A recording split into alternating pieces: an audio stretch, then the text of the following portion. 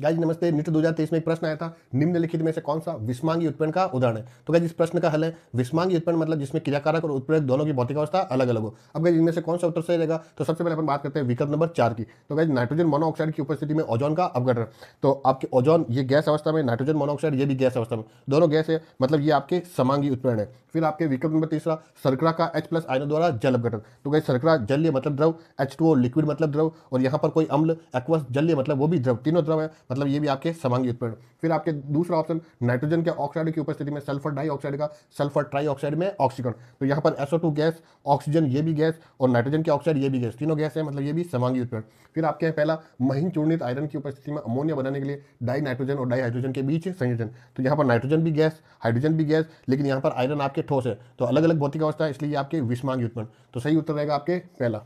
धन्यवाद।